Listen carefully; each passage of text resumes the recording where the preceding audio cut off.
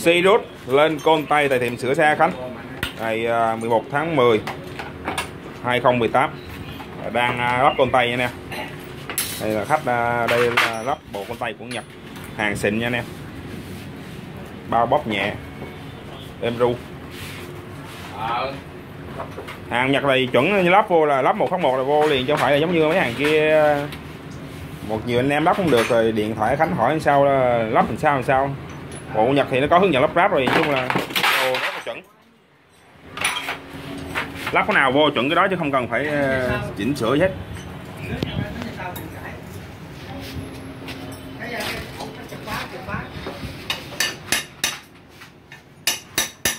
Anh em coi ha.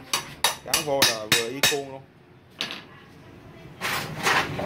Anh em nào có nhu cầu lên con tay cho siêu út thì qua tiệm gắn làm ha bao chạy như vậy ờ, cho anh em. Nhả côn tắt máy.